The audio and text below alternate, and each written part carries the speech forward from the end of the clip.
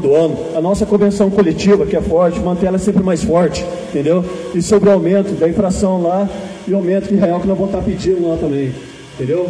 Infelizmente, é lamentável os funcionários que entraram aí, por falta de respeito com vocês que ficaram aqui fora, aqui, entendeu? Porque na hora que é, ganha, ganha todo mundo, a gente consegue alguma melhoria para vocês, todo mundo ganha, mas infelizmente a turma não tem respeito por vocês ficar aqui fora. Ontem foi tão bonito a tarde, tivemos uma assembleia tarde, 100% dos funcionários ficaram aqui fora.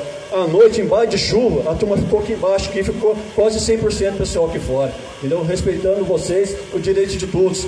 Todo mundo está sabendo, pô, a pressão que todo mundo está sofrendo aí dentro aí. Entendeu? Pediram para a turma ficar 15 minutos, passou de 15 minutos, vai descontar, entendeu? É só pressão. A fábrica da GC devia andar para frente, parece que ultimamente está andando para trás, entendeu? Mudou a chefia aí, a diretoria aí, as coisas deviam melhorar, está piorando o funcionário. Antigamente falava que não podia melhorar as coisas porque dependia do Japão, a fábrica não andava com as pernas dela. Agora que a fábrica está andando com as pernas dela, as coisas piorou, devia melhorar. Entendeu? Ainda mais para o pessoal de chão de fábrica, todo mundo sabe disso. É pressão psicológica, é ameaça de advertência, entendeu? É o dia inteiro em cima. Pessoal que, que da montagem que não estão tirando hora de refeição faz anos aí, não respeita o horário de refeição do pessoal aí. Entendeu? E outros setores também a gente sabe. Se está faltando funcionário, tem que contratar. Nem é fazer pressão de cima da turma para ficar sem, sem horário de refeição, não. Entendeu? Aí tem um pessoal aqui que vai estar tá passando para vocês algumas informações aí. Eu vou passar para o nosso colega aqui, Almir.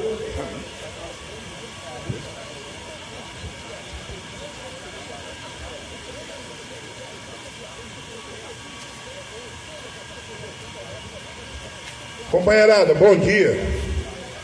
Vamos tentar não, não ofender ninguém, até porque quem merece ouvir é, a bronca é quem entrou, não vocês que estão aqui na luta, certo?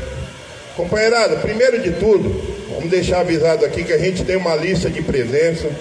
Quem estava aqui, quem está aqui há mais de um ano sabe como é que funciona isso. A gente, sindicato, faz uma lista de presença para poder o sindicato patronal saber que a gente está aqui, que muitos trabalhadores, todo trabalhador assistiu e viu a proposta, certo? Também tem aqui, vocês estão vendo aí, a, quem for sócio, assina um, cupomzinho para concorrer aos prêmios que a gente está, a gente trouxe aqui, o sindicato fez 90 anos, a gente está trazendo aqui uma coisa é, para poder prestigiar o sócio do Sindicato dos Vidreiros.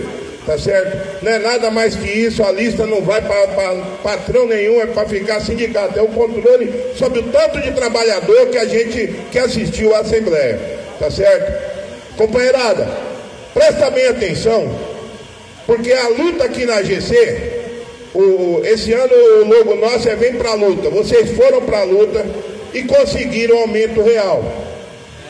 No estado de São Paulo, pouca fábrica conseguiu aumento real e vocês conseguiram. Graças à luta aqui fora. Não foi Deus que tocou no coração do patrão e falou: não, vou pagar mais que os caras estão recebendo pouco. Não é isso. É a vontade de vocês aqui fora que determina o quanto que o patrão vai, vai, vai dar atenção na luta.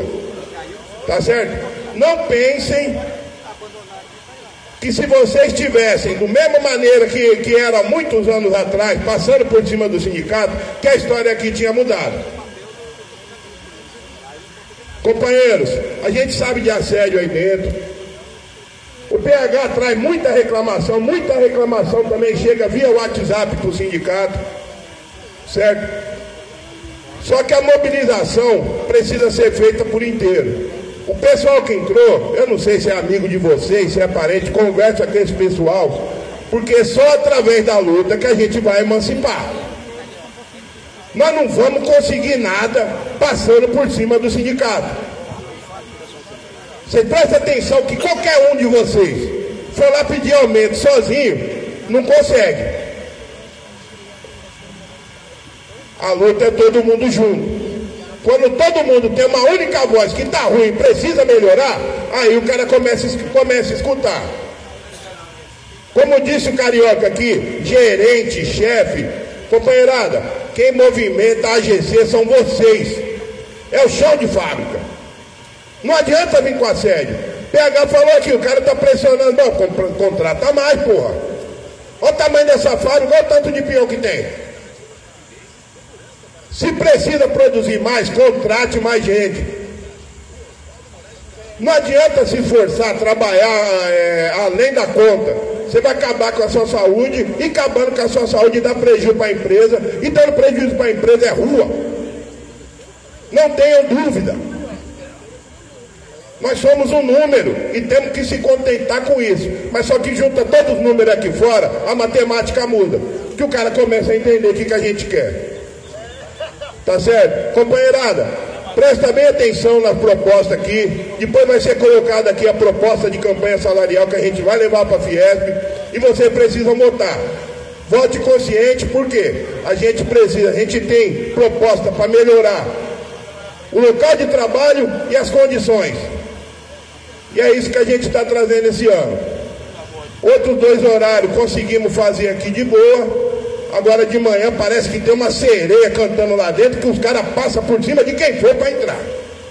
E nós não podemos continuar com essa prática. O sindicato não está aqui para oprimir ninguém. Nós não estamos aqui para sediar, nós estamos aqui para tentar melhorar a vida e o local de trabalho de vocês. Esse transtorno aqui é mais para a AGC do que para vocês. Tá certo? Vem falar que vai perder hora, companheirada. Quanto vocês já ganharam depois de começaram, depois que todo mundo aderiu à luta? É aumento de salário, é aumento real, um monte de conquista que a gente conquistou aqui fora, PLR melhor. Agora não adianta, puxa saco é puxa saco. Vai fingir que a luta não é com ele e vai entrar para dentro. Tá todo mundo aqui fora, só que o trabalho dele, ele baixa a cabeça e entra. Vai lá, o matadouro tá pronto, é só entrar para dentro. Tomara que tenha vergonha, chega em casa, você se orgulhe de ser puxa-saco. Companheirada, o dia que precisar, isso vocês não tenham dúvida. Certo? Se precisar, se chegar numa, numa questão que é exclusiva da GC, a gente vem aqui e breca tudo. Pode chamar a polícia, pode vir segurança, pode vir o que for. Nós estamos em campanha salarial, estamos começando aqui. Certo? A partir do momento que o negócio apertar, a gente vem aqui de outra maneira, tá certo? Obrigado, PH. Bom, gente, vamos dar início. Já foi falado algumas coisas aqui. Primeiramente, bom dia a todos e todas, tá? Antes de iniciar, de falar um pouco de campanha e de muita coisa, eu gostaria de. É, a gente vai fazer uma assembleia diferenciada porque entrou muita gente. E a gente não quer que as pessoas que ficaram aqui tenham qualquer tipo de. seja prejudicado por qualquer motivo, tá certo? Então eu vou começar apresentando a diretoria. Por que, que isso é importante? Porque toda vez que a gente precisar estar aqui na GC, a gente sempre vem com um time maior, porque a gente sabe das dificuldades, né? Dos assédios que são cometidos. Então, sempre que for preciso, a gente vai estar aqui. Eu acho que quem entrou é quem menos importa. Para nós, quem importa é que estão aqui. A gente sabe da disposição de luta que vocês, trabalhadores da GC, têm. E para nós, isso é muito importante. E só lembrando que foi essa mobilização aqui que trouxe os avanços uma PLR melhor, o aumento real. Então a gente está falando de mobilizações que gerou frutos. E a empresa, com certeza, diante dessas conquistas de vocês, em conjunto com o sindicato, é isso que eles querem. Desorganizar vocês, mas eu tenho certeza que vocês já entenderam como funciona, né? Que o capital não vai dar nada para nós, tudo que aconteceu aqui foi uma conquista de vocês em conjunto com o sindicato. Bom, hoje aqui da diretoria tem José de Holanda, que é da Metagal. A gente tem a Gil, que é trabalhadora da Witton. A Val, da OIS Illinois. Leoberto, da Vidraria Anchieta. O Alejandro e o Robson, da Sogobama Mauá. O Daniel e o Evandro, da Sebrace Caçapava o Dadá da Sebrace Jacareí, a Salete da Witton também, o Almir que vos falou que é da Mundial, a Zenilda que é da Fanavide, Evandro da Sebrace Caçapava, o Armando da Nadir, tá? A gente gostaria de passar muito mais tempo e poder colocar todo mundo para falar, porque a gente nesse último período aí de duas semanas O que a gente recebeu de mensagens dos trabalhadores aqui da GC não está escrito. Como foi falado, água sem condições nenhuma de o trabalhador fazer uso, o assédio, o fato do trabalhador se alimentar na ponta da máquina. E o que me admira é que diante de tudo isso, a gente viu um monte de trabalhador entrando. Então, gente, vai chegar uma hora que não vão pagar salário e vão pôr uma bola no pé do trabalhador, porque é só o que falta. Imagina que a GC é a única empresa da categoria que não fornece uma água de qualidade para os trabalhadores fazer a sua asepsia. Olha só, e a gente está falando de uma empresa multinacional. Então a gente está falando de situações muito graves, de falar que a gente não pode exceder o nosso tempo de assembleia. Então o recado agora vai para a gerência da GC, que a gente sabe que eles acompanham lá da janela. O que acontece aqui fora é de deliberação nossa, da diretoria e do trabalhador mobilizado. Vocês mandam do portão para dentro. E se a gente tiver que fazer uma assembleia específica da GC e precisar passar uma hora ou duas, a gente assim vai fazer. Se for para defender o trabalhador e trazer melhoria, isso vai acontecer sim e a GC não pode se meter. O que nós estamos fazendo aqui é um direito nosso, é legal. O trabalhador ele tem o direito de participar da assembleia do seu sindicato. Bom, gente, é importante sinalizar para vocês também que hoje a gente está tendo aqui o apoio de outros sindicatos, porque é assim que funciona. Existem apenas dois lados: o lado dos trabalhadores e o lado do patronato. E aqui eu gostaria de chamar, é, representando os metalúrgicos de Taubaté, o companheiro Marcelo. Por favor, Marcelo. Obrigado, companheira. Bom dia aos companheiros, bom dia às companheiras aqui da RC.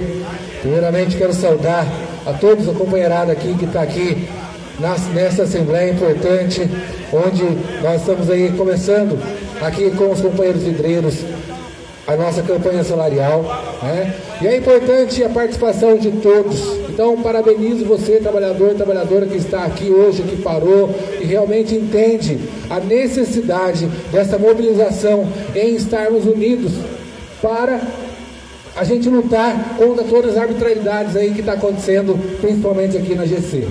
Como a companheira falou, sou Marcelo Reis, do Sindicato de Taubaté, também representando a subsede da CUT do Vale do Paraíba, que compreende todos os sindicatos cotistas aqui da região do Vale. E nós também lá em Taubaté estamos em campanha salarial. Estamos em campanha salarial, a nossa data base lá em setembro. Nós estamos numa luta árdua por aumento real. Por quê? É inadmissível nós entrarmos um ano onde o salário mínimo teve aumento real, onde a gente vê que as coisas estão avançando, onde a gente consegue perceber que as empresas estão lucrando muito mais né, do que a gente possa até imaginar enquanto trabalhador e a gente não conseguir aí nas nossa, na nossa database uma conquista de aumento real.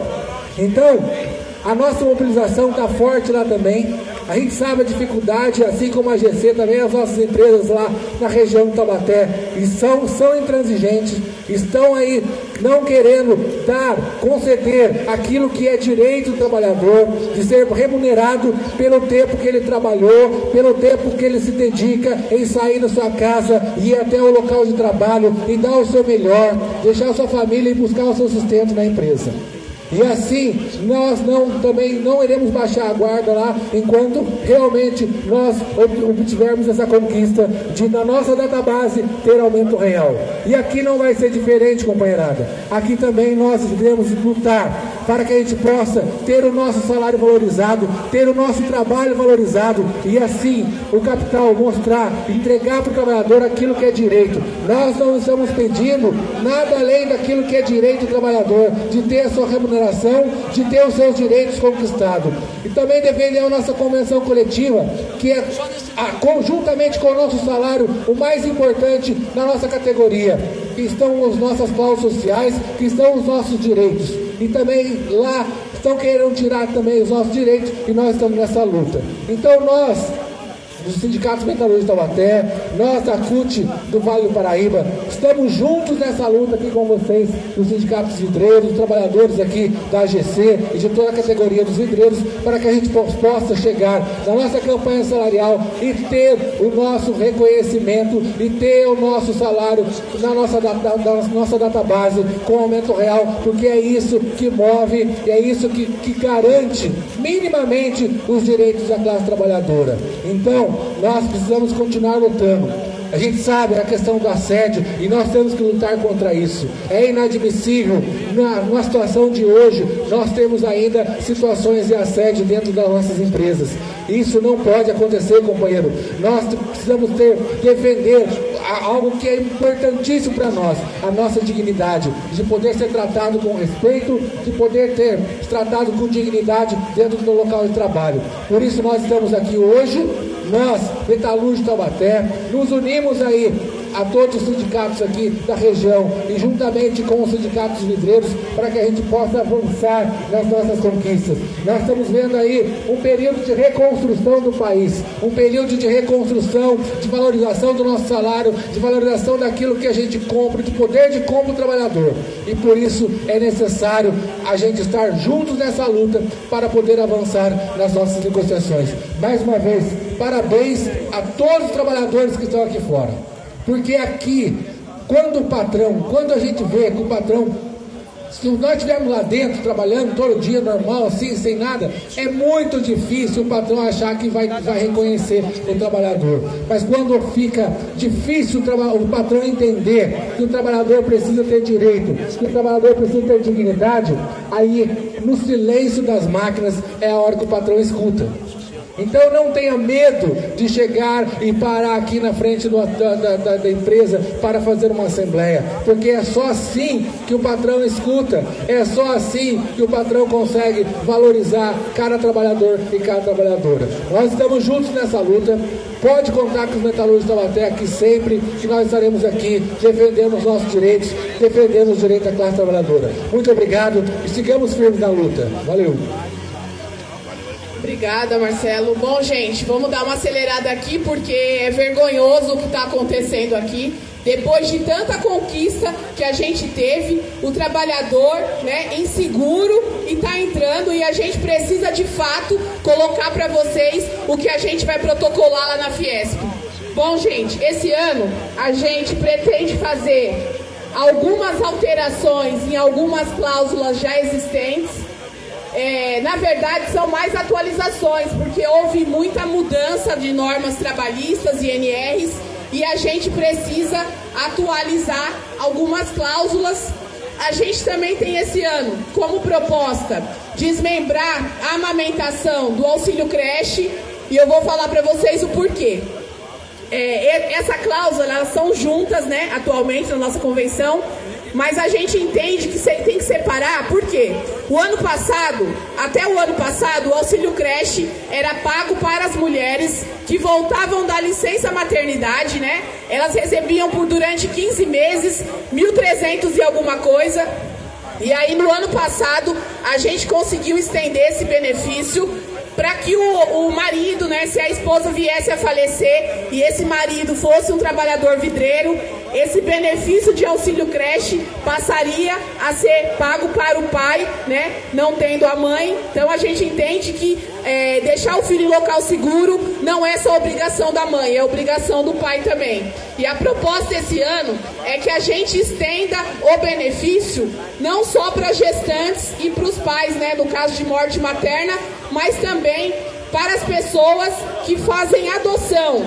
Se a criança estiver dentro da faixa etária que é pago o benefício, a proposta é que se estenda esse benefício para esses trabalhadores ou trabalhadoras, tá certo?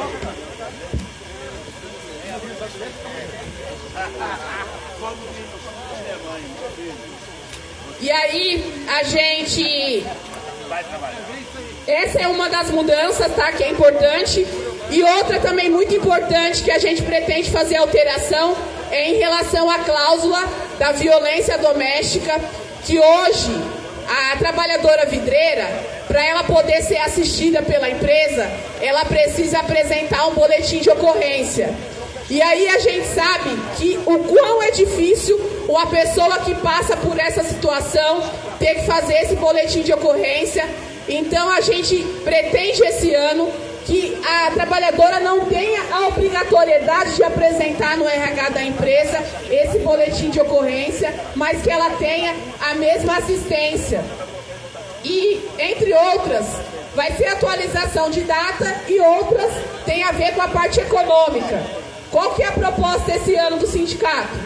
Que a gente tenha é, reposição integral da inflação mais 5% de aumento real. Essa é a nossa proposta para a parte econômica e aí todas as cláusulas que dizem respeito a essa parte, né? Se for essa conquistado, a gente vai ter esse percentual. Tá estimado em quatro e pouco, mas a gente só pode ter certeza mesmo quando sair essa inflação. Então, essa é a proposta econômica. Eu vou pedir para a gente se juntar um pouco mais pedir para a diretoria colocar aqui a faixa para que a gente coloque em votação o que foi falado aqui. É importante falar para vocês que no turno da tarde e da noite foram feita uma outra votação. E eu vou colocar essa primeiro porque eu acho importante. A gente fez uma votação no período da tarde e da noite e aqui não poderia ser diferente, tá certo? O que foi votado aqui também? Pelo fato da empresa ter se reunido com os trabalhadores, né, por setor, individualmente, e ter proibido os trabalhadores de ficarem em assembleia, né, após 15 minutos, e por conta do assédio. Então a votação é: se o, trabalha, se o trabalhador aqui presente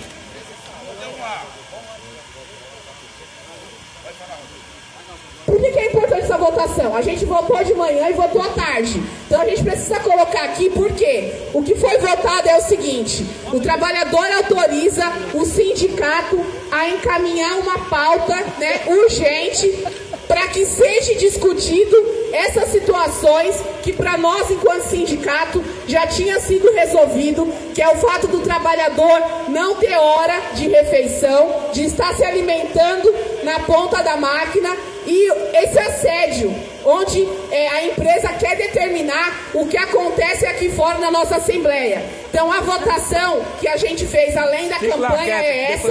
Então, em regime de votação, quem concorda que o sindicato mande essa pauta, né, com pedido urgente de reunião para discutir o assédio moral, o problema da hora da refeição, que tem trabalhador que não está fazendo essa hora, tá certo? Então a gente precisa urgentemente trazer essa pauta aqui e foi votado, né?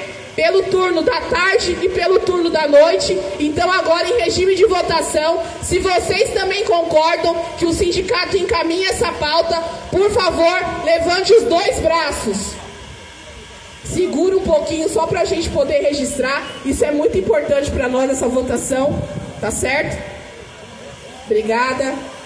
E agora a gente vai votar essa pauta aí da campanha, né? Campanha salarial 23, 24, que é as cláusulas sociais. Nós temos hoje 70 cláusulas sociais e mais as econômicas. Quais são as econômicas? Vou repetir para vocês reposição integral da inflação e mais 5% de aumento real para quem ganha o piso e acima do piso.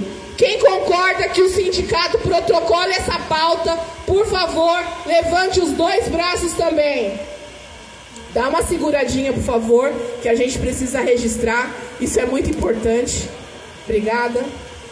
E só antes de encerrar, eu gostaria mais uma vez de agradecer imensamente a vocês, trabalhadores que ficaram aqui, que entende o nosso trabalho, que sabe o quanto foi difícil as nossas conquistas, né, nesse último período e que quer permanecer mobilizado e conquistando direitos. Parabéns a vocês e um nosso muito obrigada. Pessoal, muito obrigado para quem ficou aqui fora aqui, entendeu? Valeu, meu, obrigadão aí pelo apoio aí. A gente sempre vai conseguir conquista devido à mobilização de todos aqui fora. Sem mobilização não tem precisa, entendeu, pessoal? A gente agradece a vocês, pela consciência, pelo entendimento que o sindicato de vocês é um sindicato de luta que está presente em todos os momentos que vocês precisarem. Companheiro, a empresa colocou para vocês que era 15 minutos, mas ontem nós começamos a assembleia, que é do trabalhador, o trabalhador, companheiro, eles tiveram consciência de ficar aqui não foi 15 minutos, não. Eles ficaram aqui foi uma hora ou mais. Porque a empresa, ela quer que vocês fiquem 15 minutos aqui fora só, que é para vocês não receber as informações e para o sindicato ir para cima junto com vocês, lutar pelo direito de vocês. Por que, que a empresa não tira 15 minutos para falar com os gestores, mau caráter que ela tem aqui, usando de assédio moral para os trabalhadores? Por que, que ela não tira 15 minutos para chegar e verificar o local de trabalho aonde tem o risco do trabalhador? Ela não tira isso, mas ela quer tirar 15 minutos para você ficar aqui fora, para você não ter conhecimento de nada. Então, companheiro, a AGC ela vai ser penalizada todos os momentos que ela fizer sacanagem o trabalhador aqui dentro dessa empresa. O assédio moral é uma prática nojenta e criminosa e nós não podemos aceitar isso. Agradecendo a vocês, mas nós temos que falar para esses caras que entrou aqui, para com respeito com vocês, que nós vamos voltar aqui e nós vamos ver se ele vai entrar. Porque se nós pegasse esses caras que entrou aí e já desse um gasto logo no início, aí a Assembleia tinha sido o total, o total de trabalhador da fábrica. Aqui não tem que ser parcial numa situação dessa. Trabalhador faltando com respeito com seus companheiros e entrando e deixando a Assembleia aqui fora. Na próxima vez, nós vamos fechar aqui. Eu quero ver se tem algum que, entraram aí, se eles vão passar por cima de alguém aqui. Pessoal, muito obrigado pela presença de todos aqui e ficar aqui fora aqui para Assembleia. Entendeu? Muito obrigado aos meus companheiros também dos outros sindicatos, metalúrgicos e condutores que vieram dar uma força para nós aqui. Muito obrigado a todos. Aí, rapaziada que tá entrando, se tiver algum assédio de algum chefe, pode ligar para nós que nós vamos aqui amanhã mesmo, sem problema, tá certo? Não vamos dar moleza não. É porque você ficou na Assembleia, vocês resolveram o problema da IET. Qualquer, qualquer assédio que tenha hoje, pode chamar que nós estamos aqui amanhã mesmo, se precisar.